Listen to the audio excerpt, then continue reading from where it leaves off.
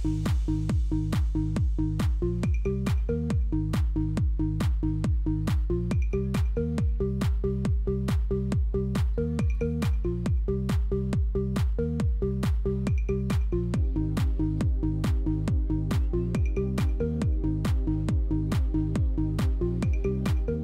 and welcome to Community Hotline at Home. I, my name is Monica Weitzel, and today we'll be speaking with the president of Mount Hood Community College, Dr. Lisa Skari.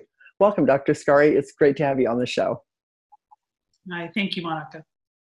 You bet. Now, um, first of all, could you tell our viewers just a little bit about Mount Hood Community College? Yes. So, established in 1966, Mount Hood Community College has been serving the educational needs of our district 950 square miles from East Portland up to the mountain.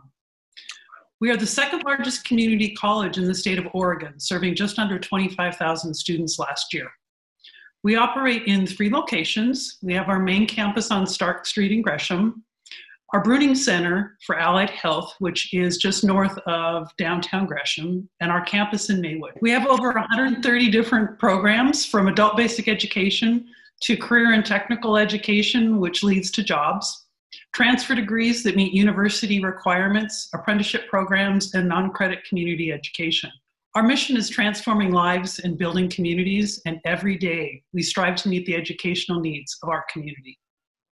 And I know that you've done a really good job of that, and it's a it's a very valuable resource in the community. People really look to Mount Hood Community College as, as a as a institution of learning it's also you know it's a place for people that of, of, all ages to go to right? It's not it's not just kids that have graduated from high school. It really is a community a community college.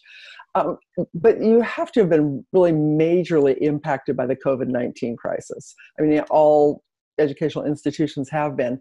So but i see that you're going to be opening up for your summer session on june 22nd is that right? Mm-hmm. that's correct. okay. So, how have you been able to um, adapt so quickly to be able to open up on June 22nd? And, and what are some of the things you've had to do to, to do that? Okay. So we did actually offer spring quarter. We delayed for a week, um, but we basically had to move everything online, right? Courses, services, even some of our student activities. And that was a total fundamental change in how we operate.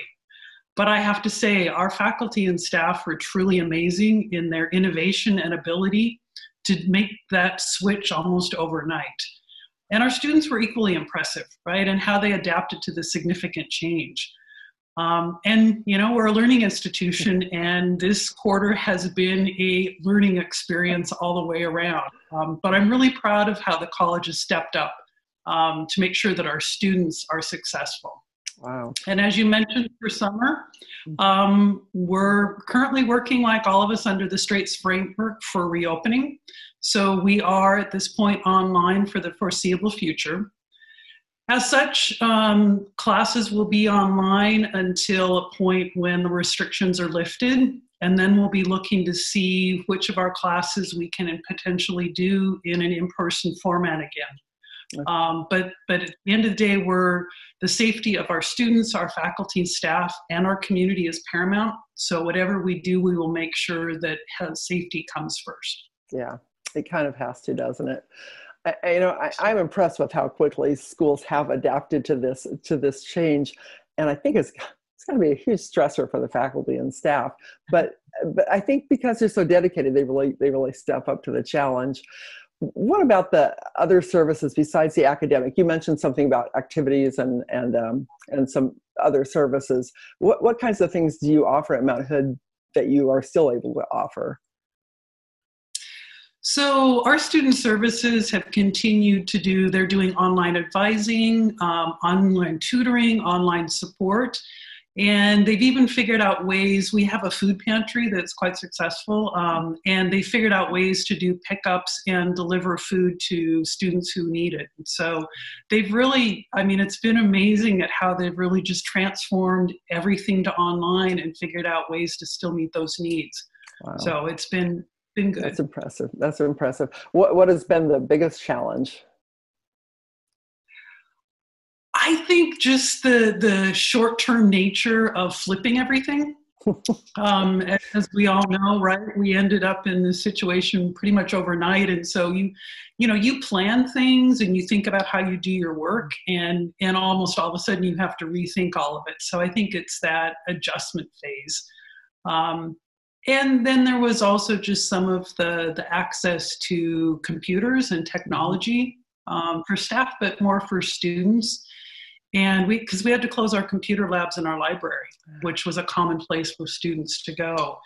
And um, you know we were able to do some loaners and then i need to give a shout out to our the mount hood community college foundation. They really stepped up and gave the college some additional funds so that we could purchase computers for students so they could stay in class. That's great. That's really good to hear because that's that's got to be the toughest thing when when the students don't have access to to online services and, and training and teaching, then you know they can't participate. So that's good to hear. Yeah.